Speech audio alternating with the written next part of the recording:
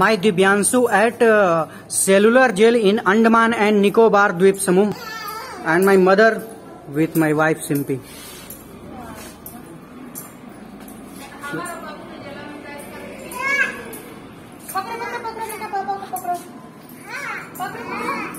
Divyanshu how are you feeling बेटा कैसा है तथा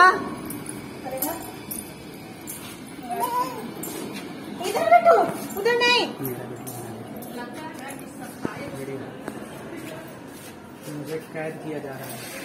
मिठू ये कैदी अपने से कैद हो गए हैं। ऐसा कैदी कहीं नहीं मिलेगा जो पीठ पे काला पानी से निकालो बाहर निकालो।